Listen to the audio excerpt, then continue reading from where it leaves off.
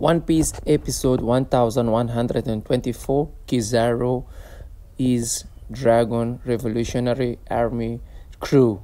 He is an infiltrated on the Marines, but he worked for Dragon. So his real name is Borsalino, and he served to Monkey D. Dragon, Luffy's father.